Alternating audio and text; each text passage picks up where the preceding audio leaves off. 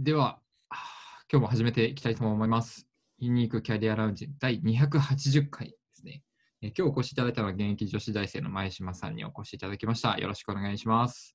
よろしくお願いします。しますユニキャリはユニークな価値観を持っておられる方とか、働き方をされている方の中でも29歳以下の世代のための、えっと、コミュニティとメディアを運営しているユニーク .com が提供するライブインタビューになっています。で録画をご覧いただく方々もいらっしゃいますし、えーその他記事をご覧いただく方もいらっしゃるんですけど、皆さんにとって参考になるようなお話も含めて、まあそれだけでなくても、あこんな人生もあるんだなっていうふうに楽しんでいただけるとありがたいなと思ってます。よろしくお願いします。よろしくお願いしますお。願いします。で初めて、えっと、前島さんをお見かけする方もいらっしゃるかなと思うので、一番初め、自己紹介をお願いしてもよろしいですか？はい。えーと、津田塾大学学芸学部英語英文学科の、えー3年の前島萌と申します。えーっと、趣味はダンスで、ダンスサークルに入ってます。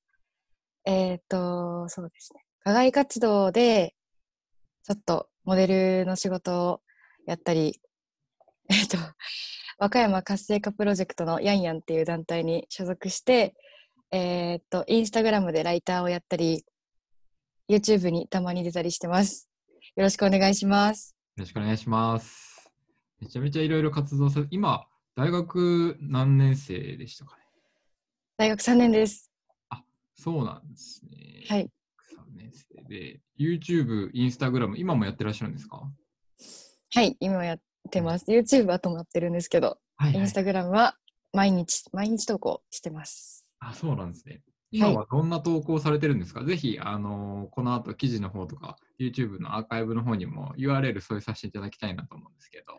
あありがとうございます。はい。えっ、と、インスタグラムでは、あの、和歌山の映えスポットだったり、うんそうです私たち5人で活動してるんですけど、みんな和歌山生まれ、和歌山育ちで、もうその生粋の和歌山人だからこそ知ってる観光スポットをまとめて発信してます。あーありますよね。その地元の人と仲良くなると、その人たちしか知らない、で、観光ガイドにはまだ載ってない スポットとか、はい意外なところにあったりしますもんね。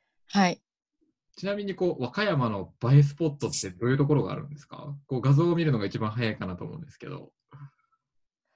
そうですね。和歌山の映えスポットで、去年一番、その、インスタでインサイトっていうのが見れるんですけど、はいはい。あの、どれが一番リーチ数、見られた回数が多かったかなとか、保存数が多かったかなっていうのを一覧で見れるようになってるんですけどはい、それで一番人気だったのが、はいあの、和歌山県太地町にある、うんうんあの、クジラの博物館っていうところに。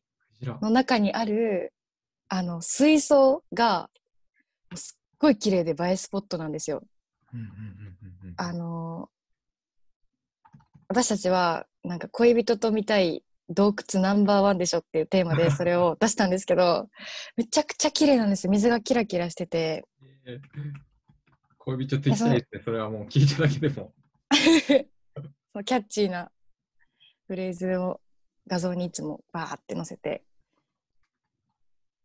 えーそれが載せるようにしてるんで日すけどあ、そうなんですね。毎日、はいろんな映えスポットだけじゃなくて、いろいろ投稿されてるんですか？はいえそうですね。カフェカフェあとはカフェ編景色編はいはい。お土産編最近はお土産編も追加されて結構そうですね。幅広くえー。投稿してます。あ、和歌山に興味ある方とか、和歌山旅行に行こうかなと思ったら、一旦そのインスタをそうですね。見ればいろいろわかりますね。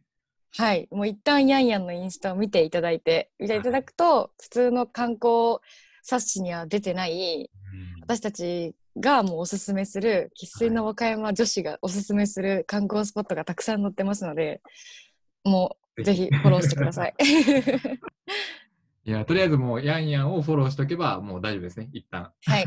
はい一旦。はい。ありがとうございます。はいぜひちょっと後ほど、今回は画面とかは共有できないんですけど、ぜひぜひあの見ていただく方とかに URL をお渡しして覗いていただければなと思うんですけど、はい。あの伺いたいのはこう、和歌山に住んでらっしゃる方、僕も田舎が茨城なんですけど、地元が。はい。あのはい。地元のためにこう何かしてみたいなとか、まあ、もしくはそういったところを関連した仕事についてみたいなとか、たうだん地元によくあるような仕事ではなくてっていう人って結構いろいろいらっしゃると思うんですけど、その中でもこう大学生でいながら、そういった地元の PR に関わるようなお仕事をされてるってことで、はい。なんでそういった流れになったのかなとか、それをこう、はい。そういうことできる、まあ、あるいはやってる人っていうのは、どういう流れでそうなっていくのかって、すごくこう気になる方いらっしゃると思うんですね。ん現役の大学生でも、大人あの全然社会人の方でも。はい。その辺ちょっとライフログに沿って今回はあのお伺いできたらありがたいなと思っているので、あのはい。少し一部時間を遡ってお伺いしますが、少しこうはい思い出していただきながら、あのお話しいただけるとありがたいです。はい。よろしくお願いします。はい。よろしくお願いします。まず今、えっと、地元が先ほど出身皆さんがあの和歌山の方で活動されているメンバーでいらっしゃるっていうお話ありましたけど、はい。えっと、ご自身は和歌山です出身ですが、今ははい大学が都内ですか、そうです。都内です。はいうんうんいつ頃都内に住むようになったんですか？大学1年生からです。あ、じゃあ2年前ですか？はい。2年前です。はい。その時は、なんかこう、和歌山にいた頃から東京には行こうかな、いつか行こうかなっていうのは思っていたんですか？はい。思ってました。もう東京に行きたいってずっと思ってました。ええーすごい純粋に。はいそれはなんかこう、例えば知人で知り合いで親戚に東京で働いてる方がいて聞いて話を聞いていたのか、なんかテレビで見たのか、何がこう興味があったんですか、東京に。はい。えっと、私は逆に身内に和歌山から出てる人がもう誰もいなくて、あ大阪にさえ出てる人がいなくて、はい。もうなんか都会にはその時から行きたい都会に対してその興味があるというか全然話も聞かないのであのあのそれで都会には興味があってっていうのとあとあの和歌山にいる時からすごいファッションとかメイクとかも好きだったんですけどやっぱりこう東京に比べて和歌山って流行に乗り遅れてるっていうのもありますしそもそも買いたいものが売ってないっていうことがよくあったそれがすごい嫌だったんですよ。そうなんですね。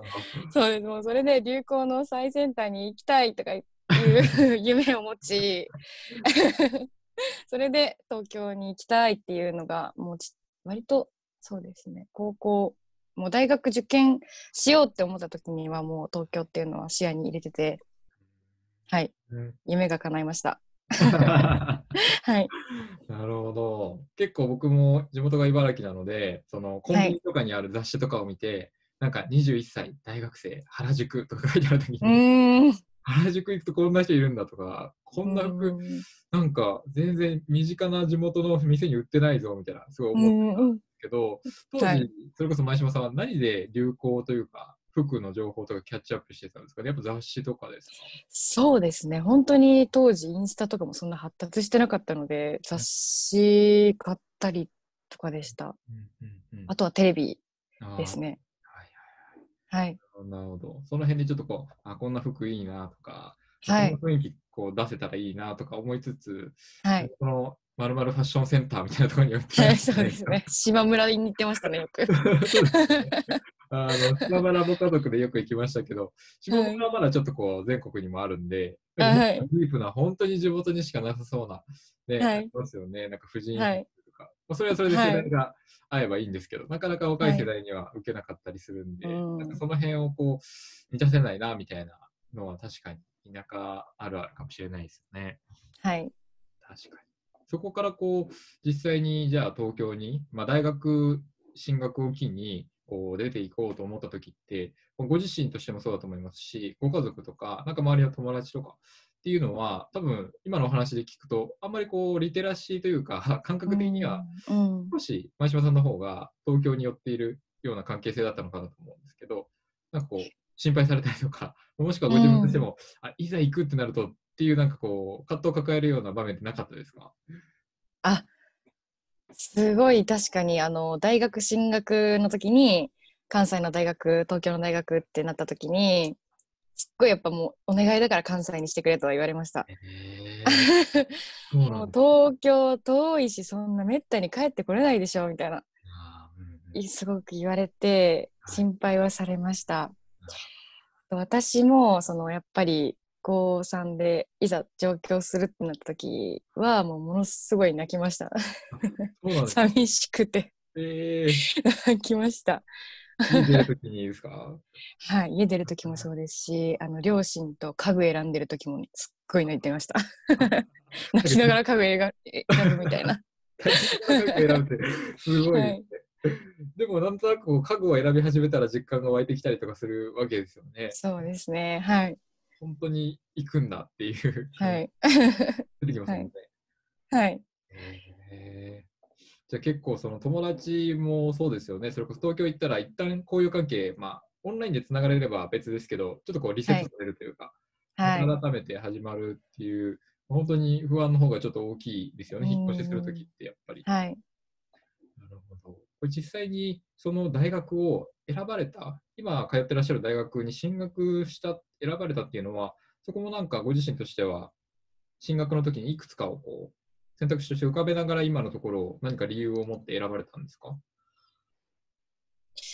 はい。えーっと、大学は、えーっと、私は、ちゃんと勉強はしてなくて、あの、あの高校高3の時に割と最後まで部活をしてたのではい11月ぐらいまで部活しててもちゃんと受験をするっていう気持ちがもうそもそも部活引退するまではなくて推薦でもう行けるところに行くってなっててでもやっぱりどこでもいいっていう気持ちはどこでもいいっていうのは違うなってすごい思ってて行くならちゃんと高いところに行こうとは思ってて関西の方の大学のあの英語系の成功推薦か 東京の方のあの英語ができる、えーっと大学の指定校推薦って迷った迷ってまして。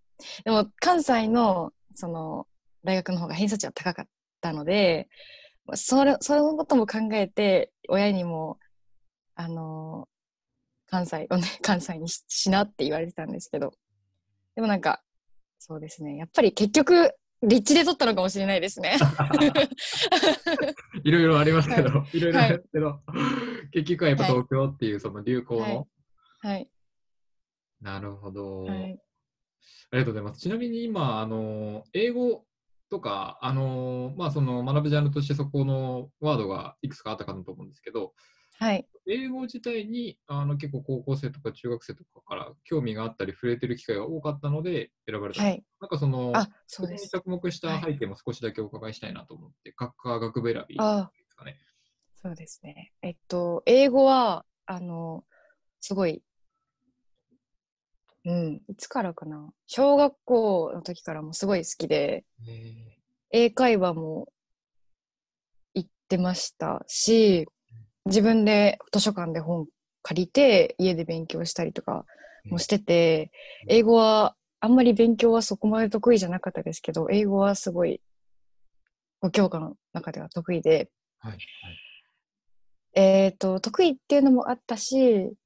あのー学校に留学生とか来てても真っ先に話しかけに行ったりするぐらい異文化交流が好きだったので、えっ、と、なんかもう将来は私外交官になるわとか言ってお っていう夢があって、はい英語、外交官じゃないね。が外交官じゃないです。えっと、はい外資、外資の企業に勤めたいっていううん夢を持って英語が学べる大学を選びました。そうだったんですね。はい。なんかこう、新しいという、なんか新しいっていうのが好き、あなんか面白いんですかね？流行とか、あとはその外国とか、なんかこう、はい自分が知らないものっていうのにこう惹かれたりするんですか？なんかすごい面白そですいうですね。。はい。はい。へーちなみにその時は、小学校はまだ授業としてはないですかね、英語っていうのは。そうです。そうですね。小学校ではちゃんと、そうですよね。確かに。えっと、英語は自分で勉強してました。小学校ではできないので、ちょっとしかできないので、そうですよ自ね。分で、はい、勉強してました。ちなみにその、小学生で英語自分で勉強するまで興味を持つってめず珍しいというか、うんみん。ながみんなそうではないかなと思うんですけど、はい。ご自身の中でなんか身近にきっかけがあったんですか？いや、うーん。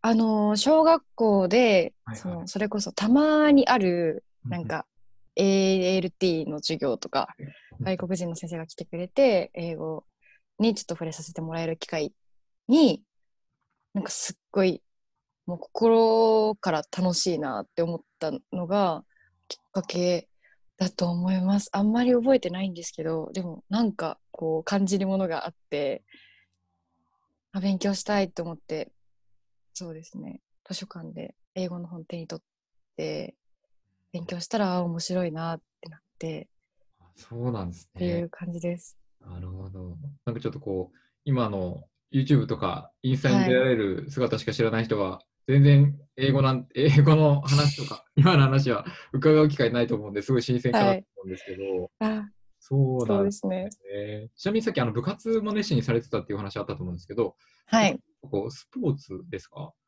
はい、スポーツです。何をいつ頃からやってらっしゃったんですか？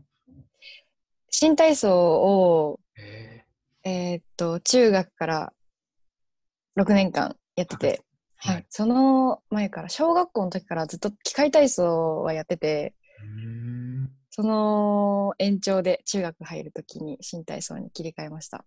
そうなんですね。はい。こうサッカーとか野球とかだと僕も身近にあるので、あのすごくこう熱心に打ち込むっていうのはどういうことをどれぐらい日々やっていくことなのかっていうのは少し想像がつくんですけど、はい。新体操、そこでこう没頭するとか、こう一生懸命部活やるってなると、どんなことをこうどれぐらいのペースで部活動としてはやっていくんですか？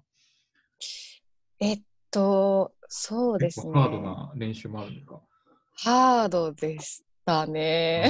は しょ平日、もう今となっては考えられないんですけど、いはい平日授業6時、6限まで終えて、はい。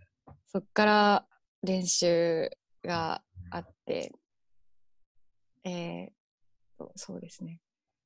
で、土日はもう、だいたい1日、あ午前中の時もあるんですけど、1日練習があって、っていうのを続けてました。月曜日だけ休みだったんですけど、それだけすごい楽しみで。えーはい。いや、なんかそう考えると、やっぱ、すごい学生、なんか学生生活、やっぱ中、大学生も忙しい方いらっしゃいますけど、中高って本当部活ってあるとすごい忙しいですよね、熱心にやったり。はい。何はい。も勉、それこそ勉強がなかなか手につかなくうなるというん。はい。もう全然勉強してませんでしたね。か。なるほど。ありがとうございます。はいで、はい。今思い出しながら伺ったところが、こう、大学生ぐらいまでで、多分、聞いていただけると、あ、自分もなんか、そういう風なタイミングがあったなとか、今の姿が全然自分とは重ならなくても、共通点感じていただける部分全然あったのかなと思うんですよね。で、はいから、大学入ってから、えっ、と、結構こう、バイトをしたりとか、サークルに入ったりとか、こう楽しみ方いろいろかなと思うんですけど、一方でなかなか大学1年生の時期って引っ越しも重なると、まだ知り合いが周りにいなかったりするので、不安な時期もあるかなと思うんですね。なんか大学1はい年生、あの2年生になるとまた一つ転機を迎えられると思うんですけど、はい。前の大学1年生引っ越したばっかりで入学したばっかりの生活ってどんなことにこう時間を使ってらっしゃいましたか？バイト、友達との遊び、まあ、それこそサークル、いろんな選択肢、ね、あると思うんですはい。うーんと、そうですね。大学1年生の時は、うーん、ずっとサークルにコミットしてました。えはい。ー、どんなサークルやったんですか？大学1年生の時に入ってたのは、うんあのー野球サークルで 野球。野球サークルのマネージャーをやってたんですけど、ほぼ野球しないサークルだったんですけど、はいすっごい楽しくて、それがえー友達とか先輩と、うんあのどっか行ったりとか、やっぱり東京観光とかに付き合ってもらってました、1年生の時は。そうなんですね。いろいろはい教えてもらったりとか、はい。えーここが戦争時だよとか、うえーすごいあ、そうです、そうです、そうで原す。宿だよみたいな。ここが原宿か、みたいな。はい。そうなんですね。じゃあ、本当になんか野球を好きでその作品に入ったというよりかは、まあ、人というか、はい気の合う人たちがいたので、一緒に遊ぶ感覚で入ってたみたいはい、そうです、そうです。な。えー、なるほど、なるほど。その後に、あの、大学2年生で、こう、PR 大使に就任するきっかけというか、転機を迎えられると思うんですね。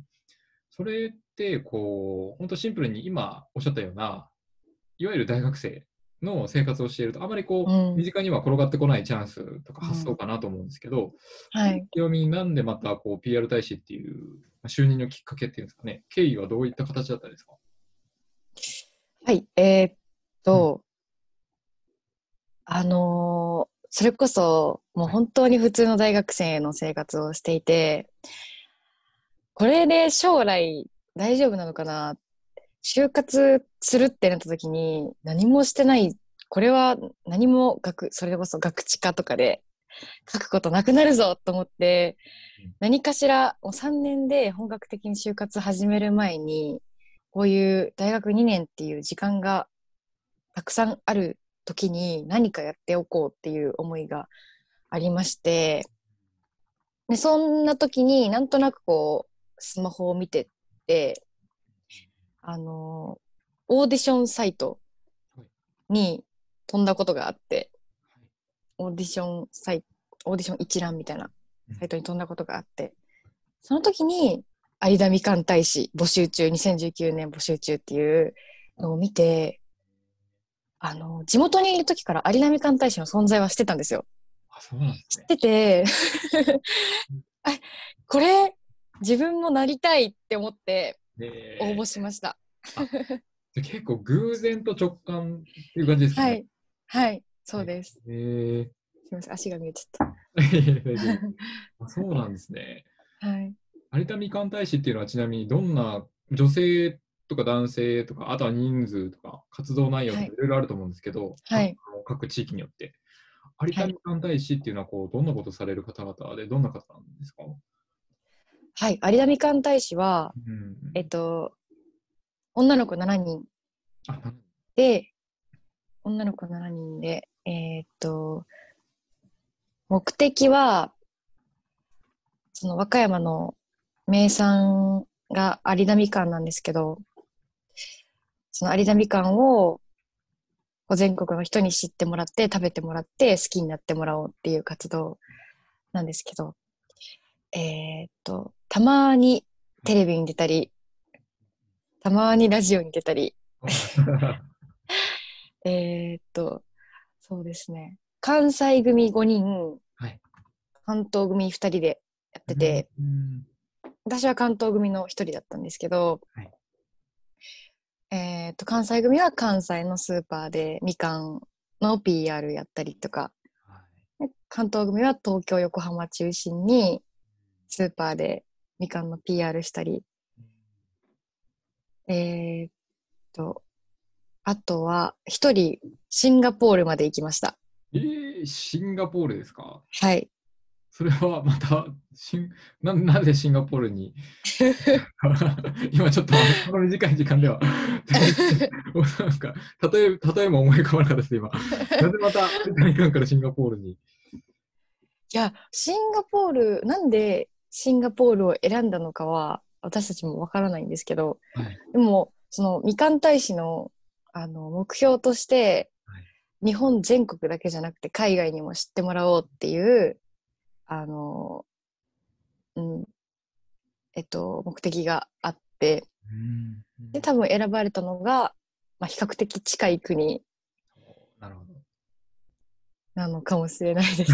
なんで選、なんでシンガポールなのかは全然 わかんないです。あじゃあなんか。なんかいや大丈夫例えばこう姉妹だったとかそういうそういうなんかあれではないですよね。結構あじゃないです。はい。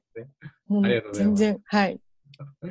なるほど。いや、すごく、なんか僕も愛媛の、あのー八幡浜っていうところに、またそれも美味しいみかんの産地があるんですけど、なんかそこはいでこう、1ヶ月間農家に住み込みで収穫のアルバイトをした時があったんです。へえなんかで農家さんのご飯とか食べさせてもらったりとか、みかん食べさせてもらってめちゃめちゃ美味しいのと、やっぱその味の他に、あ、こんな人たちが作ってるんだとか、うん。あこういうところで育っていて、なんかこんなにもみかんっていうのもまた種類があるんだとか、なんか知ることになんか味以外の魅力がみかんにすごいいろいろあるなと思ったんですよ。で、はいそう考えるとこう、インスタとか、今やってらっしゃることとかでも、本当にいろんなことを SNS でも発信できるのかなっていうのと、あとそれこそ観光大使の、えー、と有田みかん大使のお仕事の中に、多分いろいろこう SNS の発信活動とかされてたっていうふうに今伺ってるんですけど、はいった後ですね、あのみかん大使になった後は、実際にこう大学生でいながらどんな活動をされていったのか、なんかそういうのもちょっとお伺いできますか？はい。えーっと、そうですね。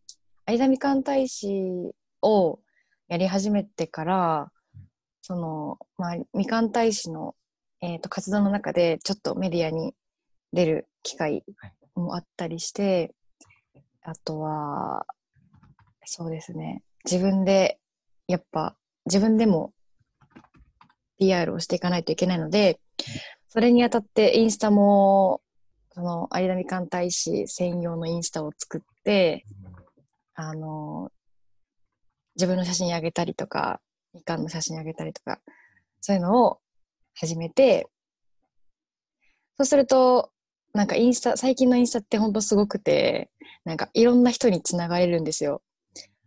なんかこう、ハッシュタグ、例えばハッシュタグ PR 大使とかつけると、なんかこう、いろんななんかスカウトの方とかが、あの、DM を飛ばしてきたりしてくださって、はい。その中の一つに、あの、モデルをうちでやりませんかっていうお声掛けもあって、はい。そこからは、みかん大使を卒業してからは、えー卒業してから4ヶ月後ぐらいからずっとモデルの仕事をやってます。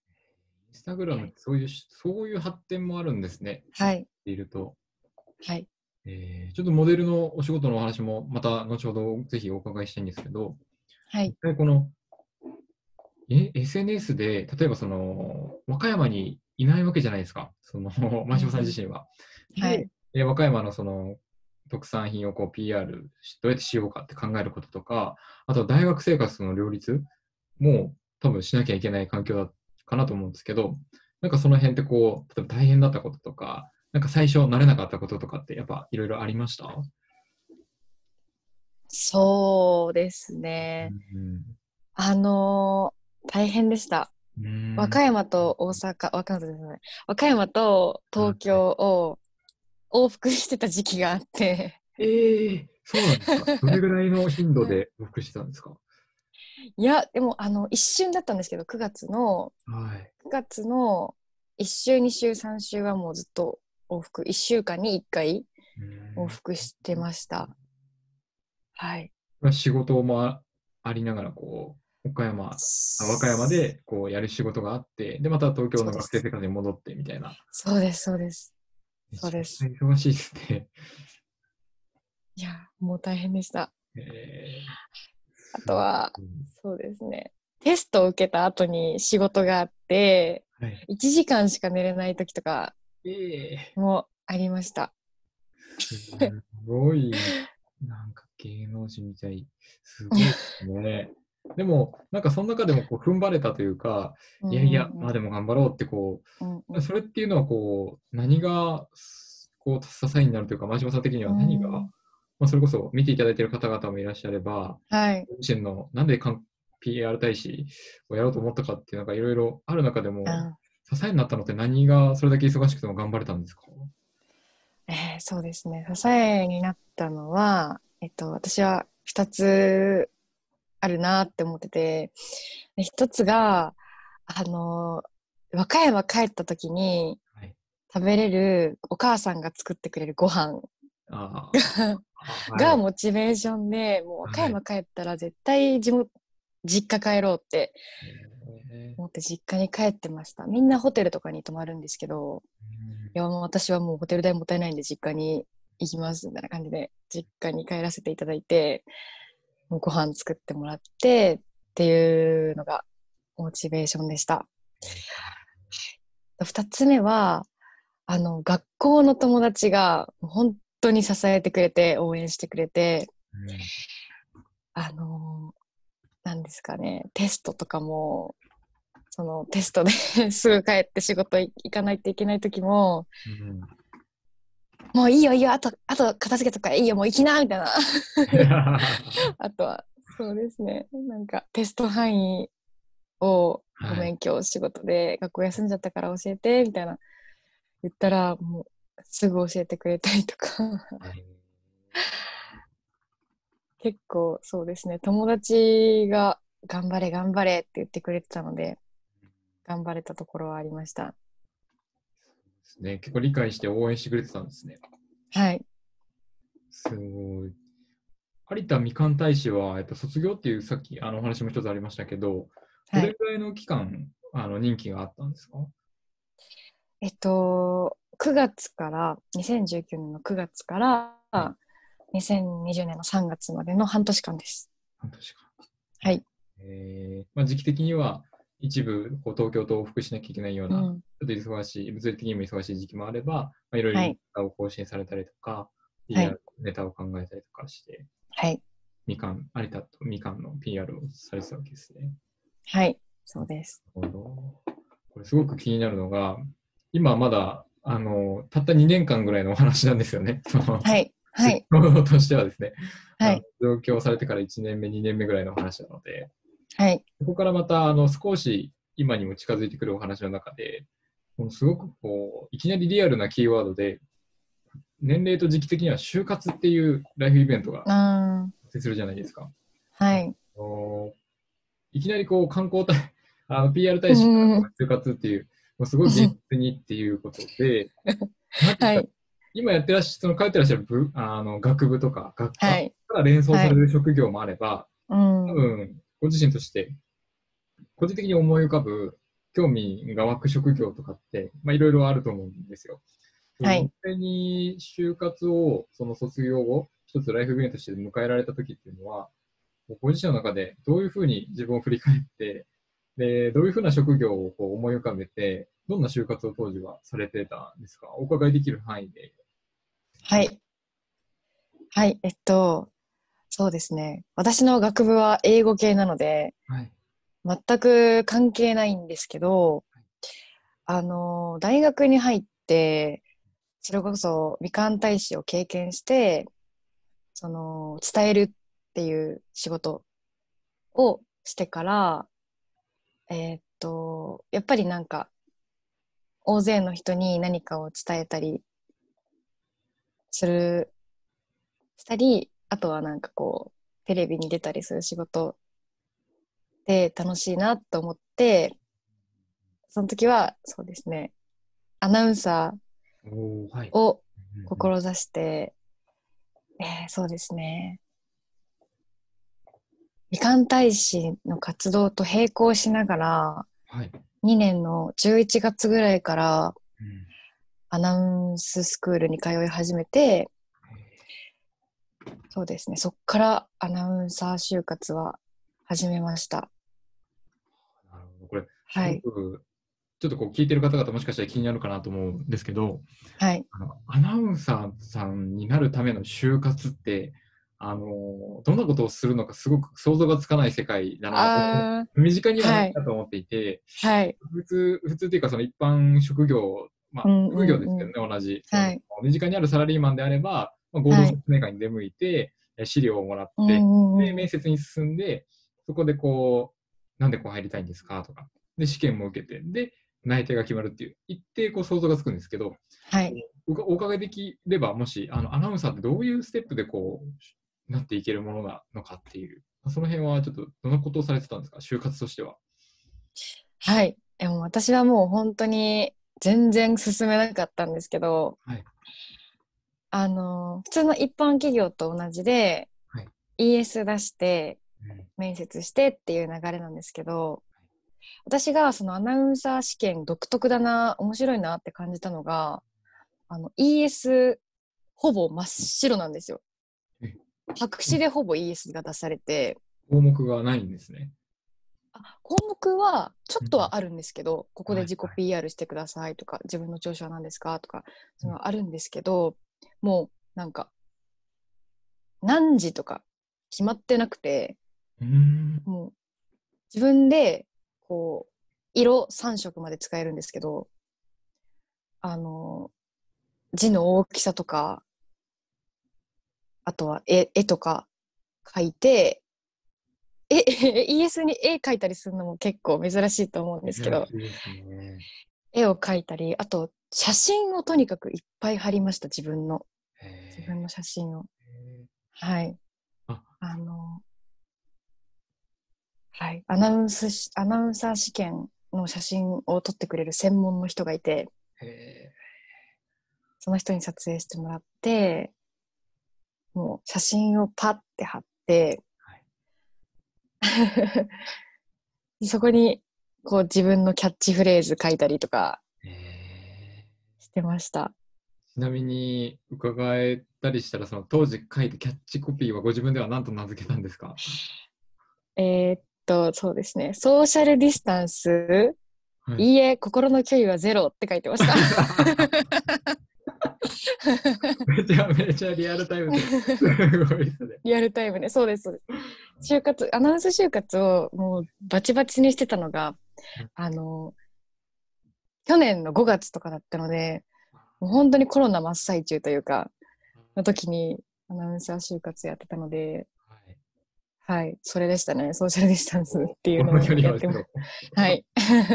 えちなみに心の距離はゼロっていうのはそのな何をこう伝えたかったですか？親近感この距離は、そうですね、そうです、そうです。私の、その、なんて言うんでしょう。話しやすさというか、はい。親近感を持ってもらいたいってういうのと、あと、そうですね。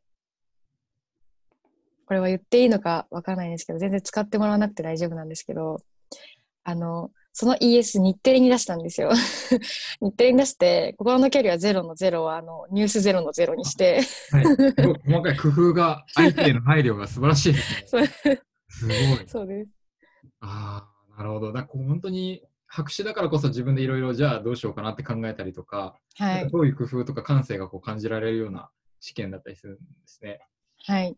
すごいなあありがとうございます。すごくこうリアルタイムで、しかも、それこそ去年の5月、まさにそうですよね、真っ只中、一番最初の本当に、みんなもまだどうやって対策しようかとか、まあはいどこまで広がるんだっていうのは、まだまだ予測が今ほどはついてないぐらいの、結構大変な時期でしたもんね。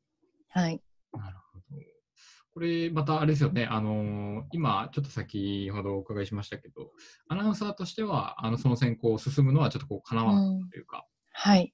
なんか、もし差し支えなければ、ご自分の中でこう、なんですかね、こうアナウンサー試験のちょっとこう難しさというか、うん。奥深さというか、そういったところってこう何か感じる点ありましたか？はい。えー、そうですね。うーん、やっぱり、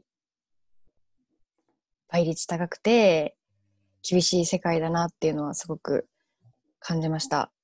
あの、ES に書いてる内容とかはもちろんなんですけど、やっぱり、なんて言うんでしょうね。その、私がその当時通ってたアナウンススクールの先生に言われたのが、あの、ES がもう山ほど来る中で、面接官は全部見れないから、写真だけ見て、写真だけパパパパーって見られるから、本当に写真が大事だよっていう、もう写真が大事っていうのはす、もう耳が痛いほど、耳にタコができるほど言われてました。そうですね。写真がすごく重要っていうのが難しい点で、こう自分が一番綺麗に写る、あの、奇跡の一枚って言われる一枚を早く見つけろ、みたいな風に言われてました。それを見つけるのもすっごい難しいですね、やっぱ。自分が一番綺麗に見える角度とか、メイク、髪型、服装、全部、やっぱり長い時間かけて見つけていくものなので、難しかったですね。奇跡の一枚って呼ばれてるんですね。はい。の一枚を見つける。で、そのまま奇跡、奇跡的にっていう表現をしたくなるぐらい、すごくその人の魅力がこう映る写真っていう意味合いですよね。はい。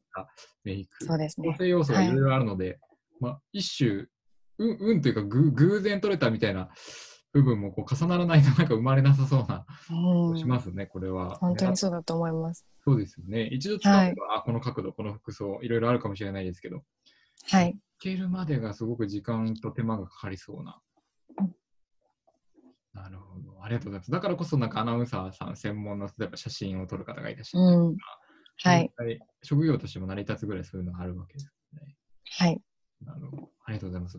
これ、ちなみに、それこそ去年のお話ですごいリアルタイムなところかなと思うんですけど、はい。あの実際アナウンサーを目指していたけれども、えー試験の難しさもこういろいろあり、一旦こう、アナウンサーの道とはまた別の道をこう探すことにもなると思うんですけど、はい。その後って、えっと、どういうこう道を改めて、あの目指されたのかというところとあ、今も目指していらっしゃるのかというところと、それはどんなまた経緯で、なかなかこう、よし、アナウンサーやめたじゃあ次っていう感じにもなかなかこう、なりづらいと思うんですよね、人間。はい。なんかその時にこうどんな風にいたアナウンサーから別の道を見つけ始めたのかっていうところと、実際その道っていうのは改めてどんな活動内容だったりとか、どんな方って今されてるのかなっていうのもぜひお伺いできますか？はい。えーっと、そうですね。アナウンサー就活終えてからも、こう、やっぱり、やっアナウンサー無理だったから、テレビの裏方の試験受けてみようかなっていう思ってた時期もあったんですけど、やっぱりそういうあのエンタメ業界にはかた関わっていたくて、えーっと、テレビのその裏方受けてみようっていう時期もあったんですけど、あの、そのみかん大使卒業してから、ちょっとモデルの仕事をさせてもらってたこともあって、こうやっぱり若いうちに、うん、自分が満足いける、いくところまでやってみようと思って、その、今はそのモデルの仕事をしながら、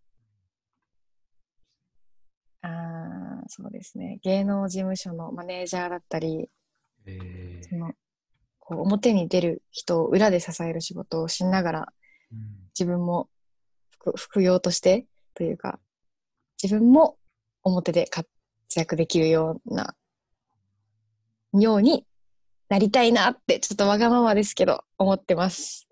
今は。えーあ、そうなんです、ねはい。今やってらっしゃるそのモデルのお仕事は、はい。さっきちょっとおっしゃってましたけど、実際にこうインスタ運用とかをしながら、こうオファーをいただいたというか、それでこうご縁がつながったお仕事でしたかね。はい。はい。そうです。うんすごい。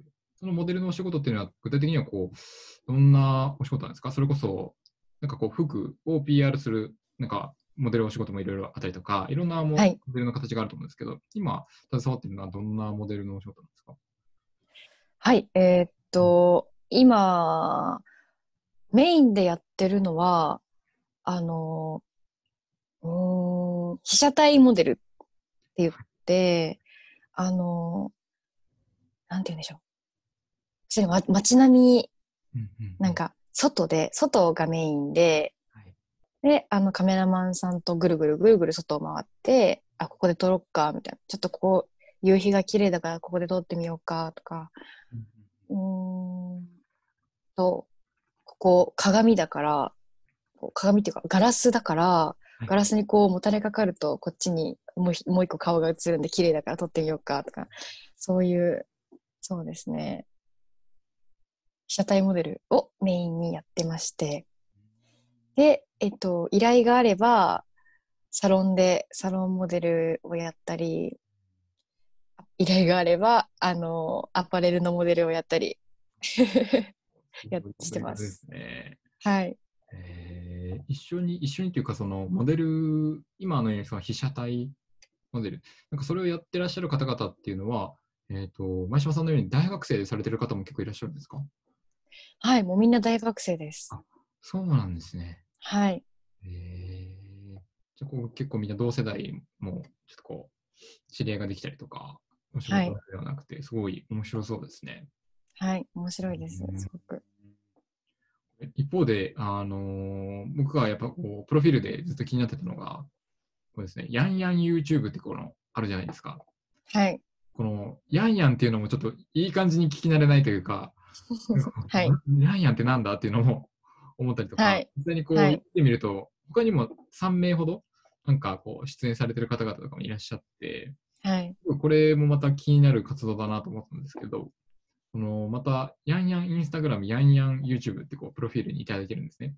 これってちなみにこう、ヤンヤンっていうのはか、どういうププロジェクト名なのか、こうグループ名なのか、いろいろこうここについてもぜひどんな活動なのか伺えますか？はい。えっと、ヤンヤンは、えー、グループ名ですね。あの、和歌山の方言から来てます、ヤンヤンは。そうなんですね。はい。えっと、和歌山の方言、えっと、何々、大阪だったら何々できへんやんだと思うんですけど、和歌山だったら何々できやんやんなんですよ。できやん、で、何々でき、しやんやんとか、結構、やんやんって言ったりするので、えやんやん、やんやんっていう名前になりました。そうなんです。結構語尾にこう、はいヤンヤンっていうのが入るんですね。はい。ヤンヤンとか。えー、今どの、どのぐらいのメンバーでどんな風な活動されてるんですか？そのヤンヤンとしては。はい。えっと、ヤンヤンのメンバー自体は、はい。実は17名ほどいて、そうなんですね。表に出てるのが5人っていう、えはい。あとは YouTube の編集してくれてる子とか、あとは公式キャラクターのデザイナーさんとか、みんな学生なんですけど、ーうんうん、あとの人たちはにネタを集めてくれたりとか、記事のネタを集めてくれたりしてます。えー、こう皆さんの活動目的としては、和歌山の PR になるんですかね？そうです。和歌山の PR です。すごいですね。それいつ頃から活動されてるんですか？と、創立は、創立というか、えーっと、活動を開始したのは、確か大学1年の、うーん、夏とかだった気がします。あそうなんですね。はい。そしたらもう本当最近、1年まだ経ってないですか？活動開始されてかえ、結構、でも、ら。あ経ちますあヤンヤンの、その表に出始めたのが去年の5月とかなので、はいはい。その前からは一応あって、2, 2年ぐらいですかね。あそうなんですね。ねはい。またそのメンバーはどういうふうなこうきっかけとか経緯でこう集まったメンバーなんですか？それこそ何かこうプロジェクトがあってオーディションがあってはい。グループ結成みたいな形なのか、もっとはい。身近なところからこう集まって やってみようっていうノリから始まったのかっていろいろ経緯、ね、パターンあると思うんですけど、はい。これはどういった形で集まったメンバーなんですか？あ、もう完全に代表ののノリと勢いですね。あの、代表は片山優っていうんですけどうん、あのー彼女すっごい人脈持ってて、あの、すっごい人を集める天才なので、もう完全にみんな言うの、あの、声かけというか、言うの一言で、あ、いいよ、入る、入りたい、入りたい、みたいな感じで、こういう活動やらないあ、いいよ、入る、入る、みたいな感じで集まった子たちが多いです。そうなんですね。はい。なんかすごいそのど、どんな方なのか気になりますね、その方もね、代表の。すごいな。面白いです、すごく。えーすっごい面白いです。ちなみになんかこう、前島さんが思う、もう、まあ、上げるとすれば、いろいろある中でも強いてこう1番、2番上げるとすれば、どの辺がこう、その方の 面白さというか。もうめちゃくちゃ自由人なところだと思います。ヤンヤンもなんか創立したはいいが1年ぐらい活動してない時期があったのにはい、急にね YouTube やらないとか言い始めたり そうですね。なんか人生はミュージカルっていうのが彼女の モットーなんですけどはい。もうすっごいミュージカル好きでうん。お金なくなるまでミュージカル見続けたりとかミュージカル俳優をかけたりしてるお金ないのにっていう のがお金ないのにもう自分の好きなことどんどんどん追求えで できるところはやっぱり面白いなって思います。ーでも、素敵ですね。なんかその、僕、好きなこと、なんか好きな、あの、尊敬してる方のこなんかこう、フラッと見た時の言葉で、そのお金はいくらあってもわかどうなるかわからないけど、うんなんかそれを経験に変えることがすごく大事ってなんかおっしゃる方がいらっしゃって、はい。なんかちょっとこう、感性としては似てるというか、なんかすごいいいいいなと思いましたね。本当に、なんか、そこまで好きなこと追求できるのが、ううんん、本当に私も尊敬してます。なるほど。ありがとうございます。じゃあ、いろいろこうインタビューをお伺いしながら、あの、今日、あっという間に50分ぐらい今経っていてですね、あはい。えーできればちょっとこう、今まで、あの、最後ですね、残りの5分から10分程度、えっ、と、残りで、ちょっとこう、今まあ伺った中で、どんな、まあ、子供時代でしたかっていうところから、今どんな活動されてるんですかっていうところで伺ったんですけど、その中でもちょっとこう、ももう何点か、あの、質問をしたい点があって、はい。最後お伺いできるんです。けど、はい。あの結構、伺ってた印象として、フットワークがすごく軽いかなって思ったんです。あの、すごく軽くて、別に和歌山と東京、まあ、行き来するっていうエピソードもそうですし、じゃあ東京に行ってみようって葛藤あったとしても、そこで行って、うん行くっていうところとか、こういろんな活動に挑戦されることも、フットワークすごく軽いなって思うんですよ。魅力的ですね、前島さんの。はい。これってこう、ご自分としてはこう、なんていうんですかね、どんな風に誰かの影響を受けている気がするなとか、なんかどういう場面で経験から来てるかもしれないなとか、こういう考え方で実は意識しているとか、なんかありますか？なんかすごくし自然体なんですかね、それ自体が。すごくフットワーク軽さが魅力だなと思ったんですけど。うーん、そうですね。こう、割と両親が、はい。あのちっちゃい時から私がやりたいことは大体応援してくれた人たちなので、うーん、自分がやるって決めたことはもう考えずに先に足が動いちゃうっていう性格からかもしれないです。意識は特にしてなくて、本当に無意識、ね楽しそうなことはやりたいので、やる、あ、意識してるっていうか、ちょっと自分の中のはい。信念としてそれがあります。あの、やりたいことはもう考えるより先にやろうっていうのがモットーです。はい。はい。いや、そうなんですね。いや、そこがすごい印象的だなと思ったので、はい。してと思ってちょっとお伺いしたかったのと、あとこう、僕もこう地元が地方なので、たまにこう思い返す機会は確かに地元のことをですね、あったりとか、お正月とか帰るんですけど、はい。こう前島さんぐらいこう地元を例えば PR したいとか、知ってほしい、魅力を伝えてみたいっていう、なんかそういうふうにこう思える方とか、もう、みんなはがみんなではないかなと思うんですけど、なんかこうご自分がそこまでこう和歌山にこう、なんていうかね、気持ちが向く、まあ、もしくはこう思いが向くっていうのは何かこう、あるんですかね？他の方と違う思い入れというか、まあ、もしくはきっかけ、経験なんですかね。なんでそんなにこう和歌山をって思えるのかなっていうのは、前向きな気持ちですごく気になるんですよね。うんうんうんうん、うーんそうですね。これは代表の片山ともずっと言ってたんですけど、あの、東京来て、やっぱり和歌山出身ですって言うと、いや、和歌山ってどこみたいなことを言われることがすごく多くて、それが、こう、なんかシンプルに悔しいっていう思い、いつも和歌山っていうのすごい恥ずかしいなって思ってる自分がいるのも嫌で、和歌山帰ったら、なんでこんなにいいとこなのに、みんな知らないんだって思うところもいっぱいあって、うん、そういった思いから、あの、やっぱり自分たちが、ちょっとおこ、なんか、だいぶおこがましいんですけど、自分たちがこう前に出て発信しようっていうのはありました。すごくそれは思ってました。なるほど。いや、ありがとうございます。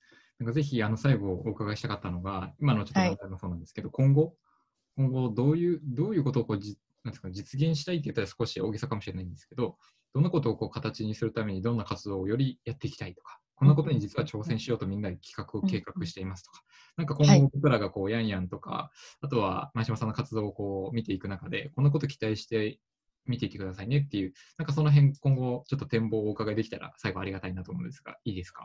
はい、大丈夫です。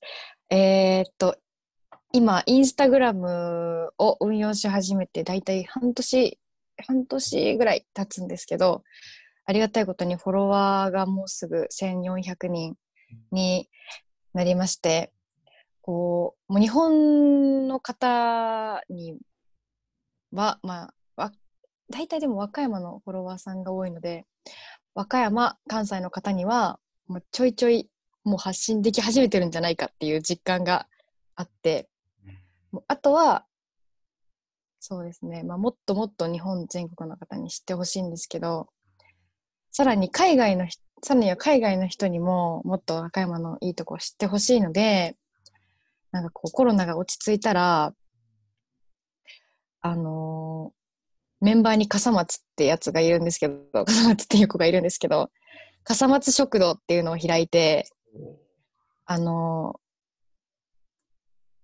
ーえっ、と、鉄腕ダッシュで0円食堂っていうコーナーがあるじゃないですか。あれと同じで、なんかこう、0円の和歌山の食材を使って外国人に振る舞おうっていう、なんかこう、テナントか施設を借りて、笠松食堂を開きたいねっていうのは企画してます。すごい楽しそうですね。すごい。じゃあ、その、なんかちょっとこう、オフラインでも今後は、はいとかはい見ながら、えーはいえー挑戦していかれたりとか、まあ、こう、はい和歌山をより、都内の人にも、よりなんかこう、魅力的に知っていただけるような機会作りとかを、はい。されていくわけですね。はい。いやーありがとうございます。ちょっと今日はいろいろ、僕自身はわ実際に和歌山に友達が僕の場合いないので、なかなかこう、気になって調べるきっかけはなかったんですけど、はい。改めてちょっとヤンヤンの活動とか、えーいろいろ通して、前島さんの活動を通して、ちょっといろいはいろ調べてみたいなというの機会があればぜひ岡山に行きたいなと、ちょっとなんか魅力を感じ,、ま、感じられました。ありがとうございます。ありがとうございます。ありがとうございます。ではちょっとお時間も迫ってまいりましたので、今回はあのあっという間の1時間でした。ありがとうございます。はいありがとうございましたありがと。うございました。えっと、今回は第280回ですね。えっと、和歌山を盛り上げるために活動されていて、現役で女子大女子大学生でもあられる、えっと、前島さんにお越しいただきました。いろいろとありがとうございました。こちらこそ、あの、貴重なお時間いただいてありがとうございました。ありがとうございました。